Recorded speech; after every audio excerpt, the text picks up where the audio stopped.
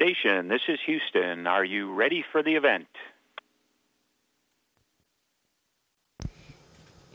Yes, I am ready for the event. Tokyo, this is Houston. Please call station for a voice check. Thanks, Hal. Station, this is Soichi Noguchi from Prime Minister's office. How do you hear me? Hi, Soichi. I read you loud and clear. よく聞こえます。ありがとうございます。えーこちら首相官邸です。菅総理大臣、えー高木大臣、そして3月の大災害被災地から6名の We have with us um, six children from the earthquake-stricken areas, along with the Prime Minister and Minister of the Ministry of Education, Science and Technology. Prime Minister, please. Dr. Furukawa, uh, I am Naoto Kan, Prime Minister of Japan.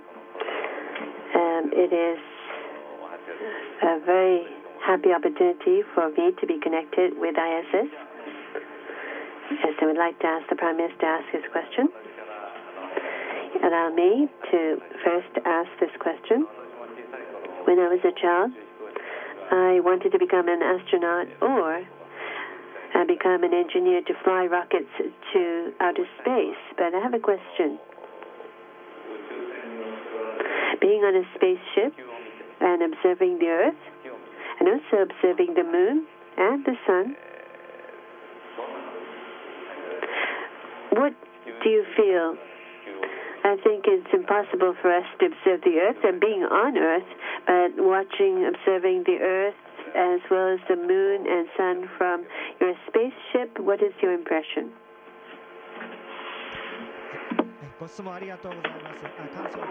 Thank you very much for your question. Um, it is a great honor for me to be able to speak with the Prime Minister. Well, um, when I observe the Earth, it's blue and beautiful um, during the daytime. But um, what impressed me most is at the edge of the Earth, we see uh, this atmosphere big layer, which is uh, is colored deep blue, and this layer is protecting the Earth. And um, we have to preserve this earth which is indispensable to us. Now, the sun, yes, it's very bright and it's uh, white to a yellowish color, and it is uh, very powerful, muscular, um, and also uh, sometimes appears to be very violent. And um, when, well, on the surface um, of the space station, um, uh, um, it is more than 100 degrees Celsius um, in the sunlight and about one, minus 100 said to be said to be um, in the dark. And um, yes, I think um, that the moon is quite similar to the Earth. It's beautiful. Thank you. Thank you very much. I also remember how the Earth, um, how I observed the Earth from the spaceship as well. I uh, also invite Mr. Takagi, the Minister of Education, Science and Technology, to ask a question. I had a chance to see you in May. It's been three months since then. Thank you for the great work that you did, first and foremost. As you became the astronaut, it, you spent 12 years before you made the first um, trip to the space. So you spend many years going through lots of trainings. And so you must be a person with much, with a lot of patience and also perseverance. How were you able to survive these many years going through all these trainings? I really wanted to work in space. I had this passion and determination, and that supported me to go through all these 12 years. And certainly, in retrospect, um, 12 years was a very long period of time. So, um, a kid who was born when I started training is now a sixth grader. And after the uh, the accident of the uh, Columbia in 2003, of course, we felt completely at a loss, and I personally uh, did not um, was not able to foresee how things will develop going forward. However, I thought that it wouldn't do any good if I if I just keep worrying about something that I cannot control myself. I thought I should just do whatever I can, and then tomorrow is going to be a better day than today. And I thought that I'll be able to come closer to my objective, and I think that paid off. Thank you very much for your question. Thank you so much. Thank you very much. Um, We'd like to ask the Prime Minister and Minister to ask questions later on. And Now we are joined by six children from the earthquake-stricken areas, and uh, they will join us now. Please, let's begin with Ms. Kikuchi. My name is Shino Kikuchi, um, second grader of the Fukushima University affiliated primary school. Many of my friends from Fukushima have evacuated from their homes. I hear the radiation level in outer space is higher than that on Earth. Aren't you scared?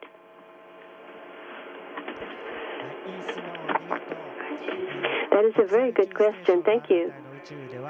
At ISS here, we have between 0.5 to 1 millisievert of exposure. And so uh, it is between 100 to 500 millisievert during six months of stay. But I'm not scared. This is the environment that I am in right now. But I'm conducting various uh, scientific experiments uh, to make people's lives better. And also try to make the preparation so that everyone can travel easily to space in the future. Thank you. Next, Mr. Ishiwata. Yes, my name is Kei Ishiwata. I'm a second grader of a junior high school affiliated with Fukushima University in space. Where does radiation come from?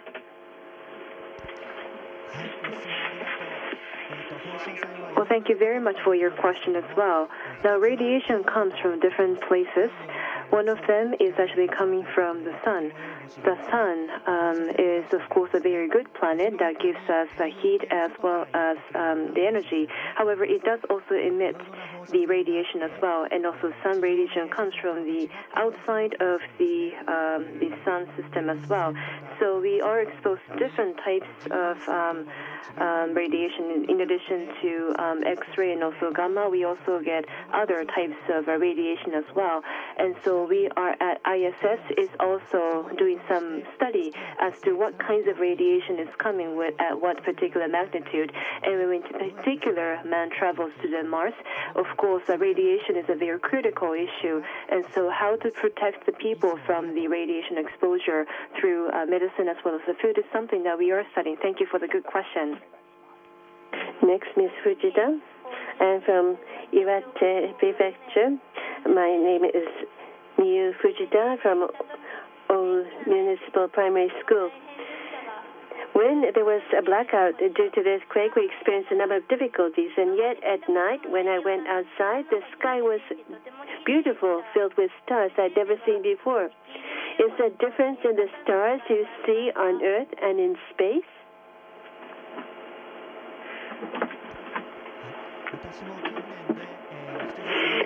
Yes, I myself, um, I have gone to the mountains in a remote area um, to train, and it was like a jewel box, the stars in the sky. Likewise, in space, we can see a number of stars, but there is one difference in out in space. The stars in space that we observe from here do not glitter. Well, in on Earth, we can see the stars glittering because of the atmosphere. Uh, but in outer space, we can see a lot of stars, but they do not glitter like we see on Earth. So, from that perspective, I think it's more romantic to observe stars on Earth. Thank you very much. Next, Mr. Oikawa. Well, due to the March 11th earthquake, the power and water supply got stopped, and we also experienced experienced food shortage. We felt very anxious and scared, and yet we helped each other to overcome the situation. At ISS, due to some unexpected situations such as blackout and food shortage, do you feel anxious and uneasy?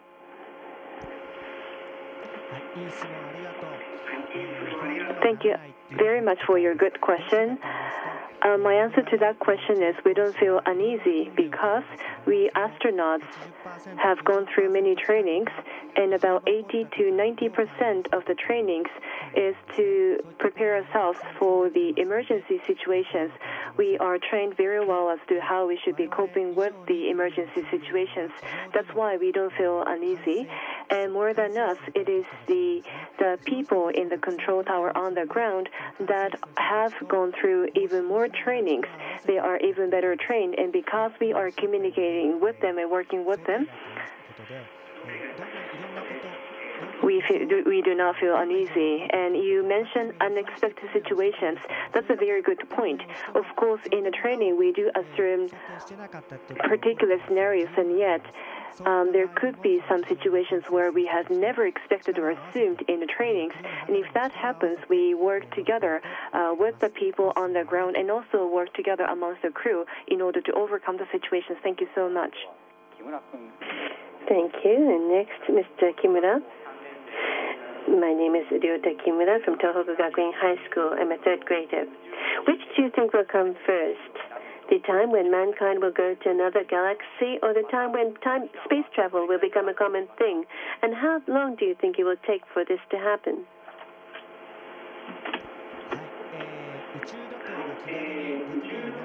Well, um, I think uh, uh, the space travel will come first. Uh, the reason is because um, going outside the galaxy um, requires that we develop an extremely high speed spaceship, and therefore there is a need to have a breakthrough um, in order for that to happen. Of course, if we could warp, if that would be a different story. Now, um, making space travel a common thing. Well, um, I think um, it will start uh, from a few years from now, but um, to make it easily accessible, I think will require another 30 to 50 years. Well, um, if you think about the history of aircrafts, I think that is the length of time that we have to anticipate. Thank you. Next, Ms. Suekane. My name is Sakuya Suekane. I'm a third grader of Izumi Tateyama High School in Miyagi Prefecture. After the earthquake, uh, our life is difficult because of the stop of the power, um, because of the power blackout. At ISS, could power supply stop? And if that happens, then what kind of conditions do you have to be living in, and how do you cope with the situation?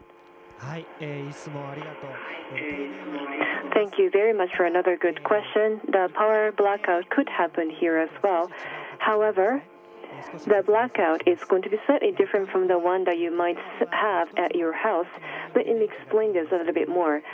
Uh, you have uh, one power grid coming into power um, cable coming into your house to receive the uh, power. However, we are using the photovoltaic panel. Uh, we have about eight panels or so to receive the power, and because we are getting the power supply differently through all these different um, eight panels, there could be some partial blackout and therefore, for example, half of the lights within a laboratory, laboratory could um, go off. And if that is the case, of course, we will cope with the situation. And also, in addition to the electricity, there could be some power being stopped um, to be supplied to the computers, uh, which is very critical. And if that happens, of course, we have to recover that. In order to cope with that situation, at the time of the design of the space station itself, we first and foremost do assume different kinds of emergencies so that we could proactively um, take some countermeasures as to what we would do um, in case certain scenario happens. For example, when it comes to a computer that would control the direction of the space itself, uh, the space, station itself, um, if the computer goes down, and that will be a very critical problem. Therefore, we have a backup computer, and we also have three computers to control um, the, the, system in the, the, the, the, station so that we have the redundant system. Um, and so uh, this is how, what's been incorporated already in the design of the computer as well. So at the time of the design of the space station itself, we do have to prepare ourselves as to how we should cope with the situations when an emergency happens. And and this is also how this uh, Kibo, the Japanese exp- um, the experiment module, was uh, designed as well. But still, um, we might see some situations which were completely unexpected. If that happens, of course, we do interact and communicate with the people on the ground. Thank you so much. It seems that we have some more time. Would anyone like to ask additional questions, Mr. Ishiwata? Yes. My name is Ishiwata uh, from Fukushima University affiliated junior high school. Outside the ISS, um, when you do the spacewalk in your astronaut suit, um, does it this space suit reflect um, the radiation so that you're not exposed directly to radiation? That is again a very good question. Yes. Um, well, um, the space suit is not designed so that it can shield out radiation. Of course, it does try to shut out to a certain extent, but it does not contain any lead to try to totally shield radiation. Therefore, uh, when we do the spacewalk uh, wearing the um, space suit, we will be exposed to a little more radiation than normal. But it's only for six to eight hours that we do this work, so it does not have a major impact on us. Thank you for the good question. Thank you. Thank you. Perhaps one more question from Ms. Suekane. How much calorie do you consume in ISS? Um, is it different from um, us on the ground? In addition to calcium, do you intentionally take any particular nutritional elements at ISS? more than you would do on the ground. Well, thank you very much for the very um, um, technical question. Now, we assume that we consume about uh, 3,000, a little less than 3,000 um, kilocalorie. However, uh, we don't necessarily take that much calorie because different from being on the ground, we feel uh, very full quite easily, and I think it uh, worth, uh, it does require uh, more research as to why it is the case. But because we feel so full, uh, we don't perhaps necessarily eat that much. But of course, if we feel hungry, then of course we do eat more. And we also do make to, need to make sure that we need to take calcium as well as protein in our food, as well as vitamin D, in order to uh, make sure that the bone which has been weakened is uh, can be strengthened? Thank you for the very scientific question. Thank you very much, and Dr. Furukawa, for answering these very difficult questions with a smile. Now, can we ask the Prime Minister if he has any additional questions or comments that you would like to make? Yes, please. Yes, um, I'd like to ask Dr. Furukawa another question. Well, um, Dr. Furukawa, you are a doctor my profession. And um, being a doctor,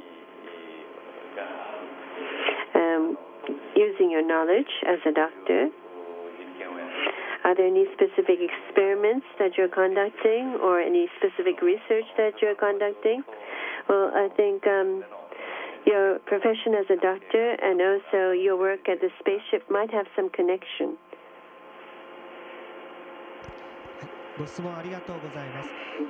Thank you very much for the question. Well, um, yes, um, we are carrying out the protein crystal growth experiment in weightless environment. Uh, we can create more um, higher quality crystals, and um, by taking this back um, to Earth and analyzing, we can understand better the 3D structure.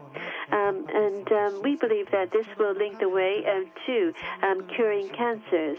Well, about uh, three meters away from this um, uh, camera, there is this experiment rack uh, because um, the um, the there are the veins which are giving nutrition to the cancer cells, and uh, because of these um, veins, um, we um, see the cancer grow. But if we can uh, sever this route of nutrition, then we can um, curb uh, the growth of cancer cells. And so we are trying to create uh, such crystals for this purpose. And in uh, September, this will be brought back to Earth using the Soyuz uh, Russian uh, space uh, spaceship. And we hope that, that this will lead to the development research of new medicine. And um, we believe um, that this can contribute to bettering people's lives on Earth. Thank you for the very good question. Thank you very much. The wonderful answer. Um, because he's a doctor, he was able to provide such a good um, answer. Um, Mr. Takagi, I believe that you feel very tense all the time, and I believe that you need to be very careful in whatever that you do. How do you vent your stress out? Uh, do you do any entertaining activities on the spaceship? Well, thank you very much for the question together with our my colleagues, um, I might just relax by relax by chatting, or um, I do enjoy music, or I might take some pictures or photos or videos um, through the windows from the space, we can see this very special view of the space. So during the weekends, we have a little bit more time um, for leisure, and I'm very appreciative of that. Thank you very much for your question. Thank you very much. Um, yes, uh, your smile always impresses us. Um, Dr. Furukawa does uh, seem to be enjoying his life on the ISS. And um, any um, the children from the earthquake-stricken areas, do you have any additional questions that you'd like to ask? Well, it might be difficult um, to be asked to ask a question. Um, Dr. Furukawa, well, I think you're halfway through your mission. Um, in the second half of your stay at ISS, um, um, the Prime Minister would like to send you some words of encouragement. Yes, um, well, and today uh, the children have joined us um, in this event, and um, we're very grateful for having this opportunity. It was very enjoyable talking to you.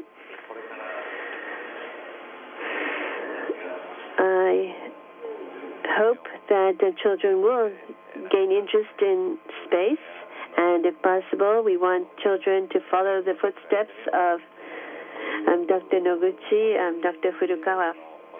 And um, I hope that children will want to become an astronaut and go out into space in the future. I'm looking forward to this happening. Um, earlier, um, you explained about um, the protein crystal um, research uh, for curing cancer.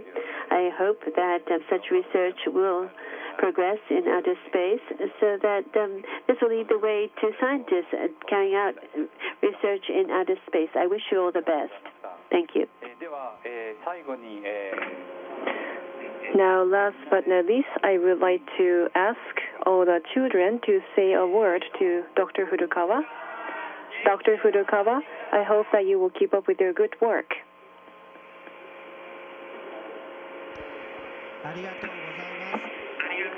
Thank you so much.